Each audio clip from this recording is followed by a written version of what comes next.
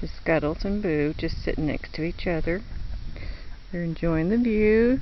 They're watching Ariel and Dash down in the garden.